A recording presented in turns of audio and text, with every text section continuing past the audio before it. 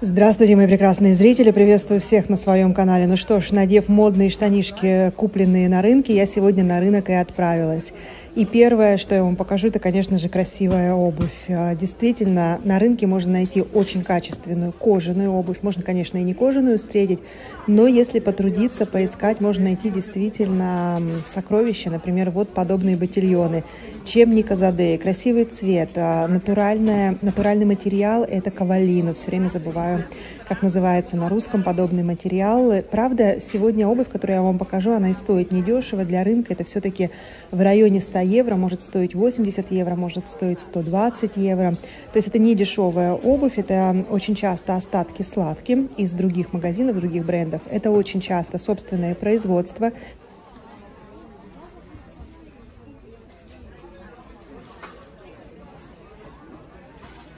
Подобная обувь очень итальянская, она ко всему подходит. Итальянки носят э, часто подобную обувь именно в этом сезоне. Челси, конечно же, есть. Челси всегда популярны в Италии.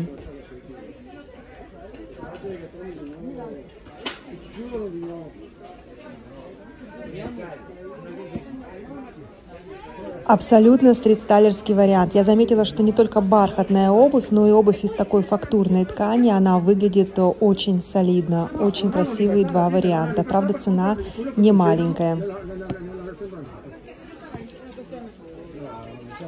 84 евро. Очень красивая обувь в единственном варианте. Это то, что как говорят здесь в Италии, остатки из магазинов. Цена 89 евро. И для подобной обуви абсолютно кожаной, прекрасно выполненной, это, конечно, невысокая цена. Сколько стоит может э, подобная обувь в магазине? На самом деле сложно сказать. Иногда цена может быть и в два раза выше. Иногда скидка на рынке достигает небольших 30% от цены в магазине. Все на самом деле зависит от производителя.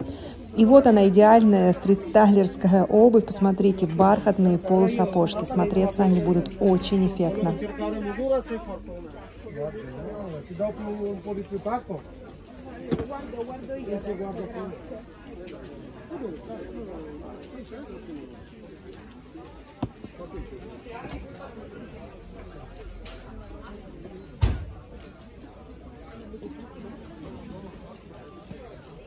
Grazie. Eh, tu ce l'hai foto quello preso tu prima? Chiediamo Antonio forse che ti portare. Сегодня я хотела показать вам полусапожки. Еще раз, некоторые товары настолько мне нравятся, что я показываю их несколько раз. Также бывает и с витринами, также бывает и со стритстайлерами. Настолько они поражают мое фэшн-сердце. Но представляете, та обувь, которую хотела вам показать, она уже продана.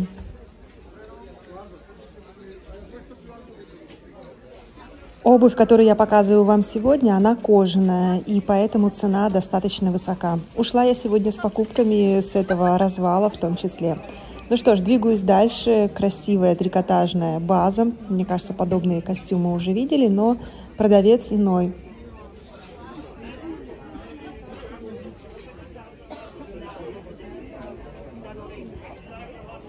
И снова я рядом с перчатками. На самом деле сегодня у меня был личный интерес. Я предложила а, торговцу этими перчатками, поскольку есть большой интерес а, как раз-таки к перчаткам.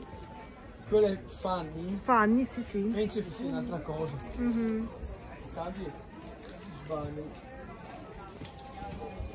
Сегодня на рынок я пришла с деловым предложением, а именно я предложила выставлять перчатки, как раз таки, которые нравятся очень моим зрителям, на нашем магазине Temporary Store, который мы хотим организовать с Микелой. И помните, я рассказывала вам о повышении цен, помните, я рассказывала вам о том, что нет склада а, то есть нет магазино сейчас у большинства производителей и у большинства продавцов. И мне был дан ответ, что это просто невозможно в этом сезоне будет сделать, потому что если мне отдадут на продажу даже небольшое количество, допустим, 50 пар перчаток, то есть риск, а, если они будут проданы через наш а, с Микелой портал, будет риск остаться без товара непосредственно на рынке. Представляете, действительно есть некий дефицит, не производится в достаточном количестве товар и не закупается в достаточном количестве товар. Мы условились на том, что если подобная идея будет нравиться обеим сторонам, мы договоримся о проценте, а, который будет отчисляться нам за продажи, то нужно будет договариваться за 6 месяцев заранее. Sì, è vero. Allora, se tu me lo dicevi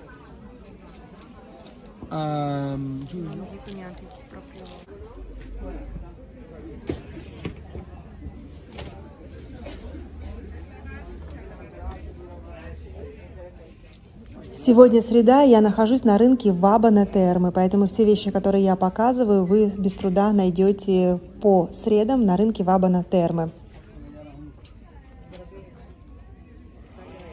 Еще в прошлую среду я обратила внимание именно на этого продавца. У него пальто, которое я часто вижу на стрит-стайлерах. Они эффектно смотрятся, несмотря на то, что клетка и полоска, как часто пишут в комментариях, не совмещенные. Тем не менее, эти пальто стоят недорого, смотрятся очень эффектно.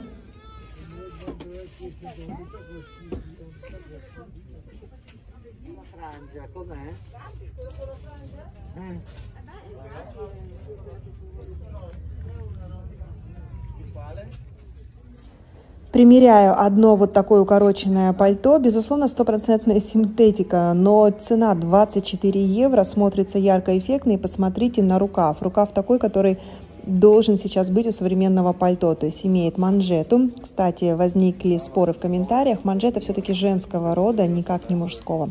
Имеет манжету и посмотрите широкий рукав. Вот такой широкий рукав, который а потом сужается за счет манжеты, это то, что отличает современное пальто.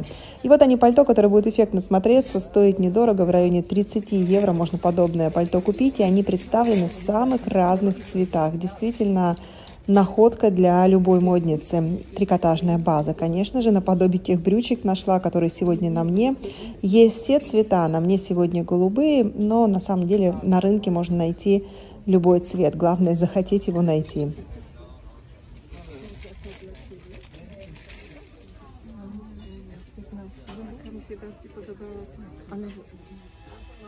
И вот она моя находка. Подобная куртка, укороченная, как будто бы на резинке, стоит 25 евро.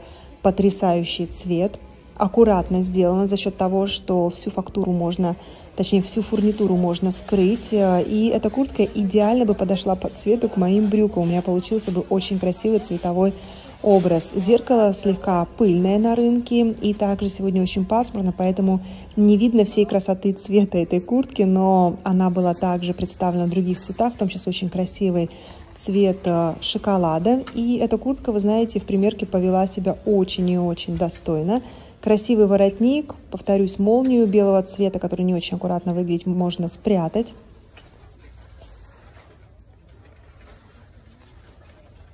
И точно в таком же цвете я нашла пуховик, э, который слегка длиннее. На самом деле эти пуховики, скорее всего, появятся в большом количестве в ближайшее время. И, повторюсь, они выглядят очень-очень достойно. Так же, как и пальто. Вот такие пальто подобной длины и фасона я их всегда называю очень итальянскими, потому что итальянки любят а, подобные фасоны, подобную длину.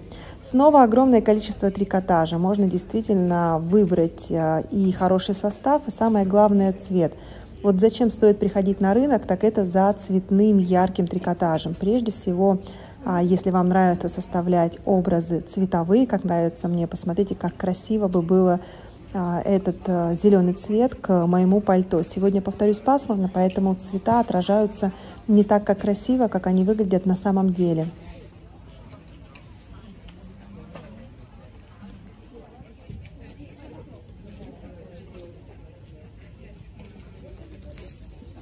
一起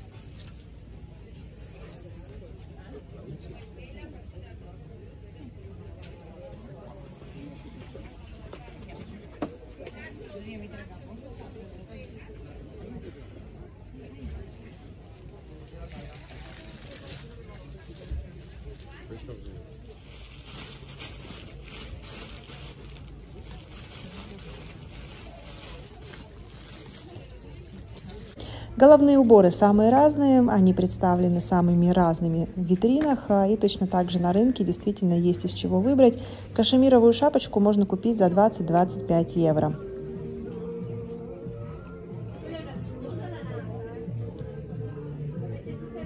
Вот они нитки, которые подорожали. Помните, я рассказывала, что одной из причин того, что в предстоящем сезоне все будет стоить, вся одежда будет стоить несколько дороже, заключается в том, что подорожают нитки. Они уже подорожали. И всегда на рынке, тоже я об этом рассказывала, можно купить очень хорошее нижнее белье. И так называемое э, термобелье. Вот действительно на рынке представлено тоже в огромном количестве. Большой ассортимент есть из чего выбрать. И состав шелк плюс кашемир, шелк плюс шерсть – это очень популярный состав для женского нижнего зимнего белья, который позволяет нам, модницам, не замерзнуть. Ну что ж, я двигаюсь э, между рядами и нахожу пряжу. Я очень люблю пряжу. Мне нравится пряжа, мне нравится ее трогать, мне нравится соотношение цветов. Вот пряжа, посмотрите, а, с небольшими пайетками. Подобный трикотаж очень популярен. Фабиана Филиппи постоянно предлагает подобный трикотаж. Итальянки очень много вяжут. Посмотрите, сеньора купила целый пакет пряжи. И она же дала мне совет, как выбрать пряжу. Она подумала, что я буду вязать в ближайшее время, хотя на самом деле мне хотелось спросить, во сколько ей обошлась пряжа, которая находится у нее в пакете.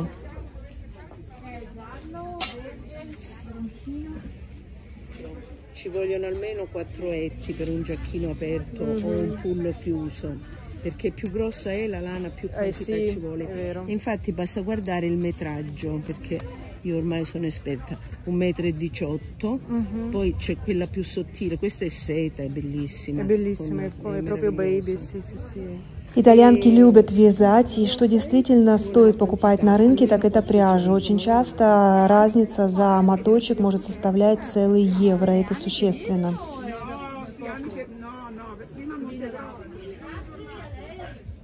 Четыре девяносто стоит пряжа, моточек, а, шелк и кашемир. Это считается бэйби пряжа, то есть из нее вяжут детские вещи, шапочки, кофточки, штанишки. Она не колется и очень нежная.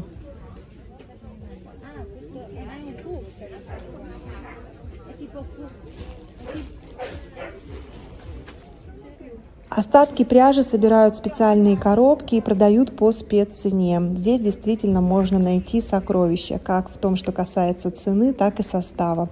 Я очень люблю вот такую широкую пряжу. Самые мои любимые спицы – это спицы, если не ошибаюсь, 10 размер, то есть очень толстые. И я недавно, недавно, пару лет тому назад вязала шарф и подумала, а не связать ли мне в ближайшее время своим мальчишкам шерстяные шарфы.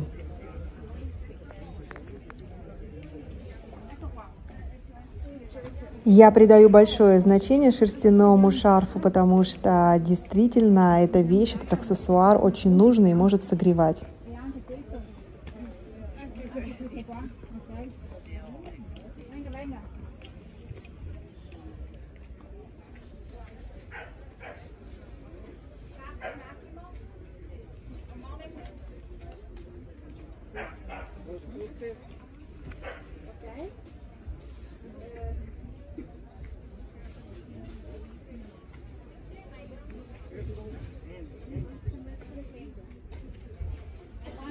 Из всей пряжи, которую я сегодня видела, мне понравилось вот это 4,50 за моток. Очень красивые цвета. Посмотрите, какие прекрасные оттенки коричневого и бежевого, которые будут очень красиво смотреться в одном изделии. Например, шарф полосками получился бы очень красивый.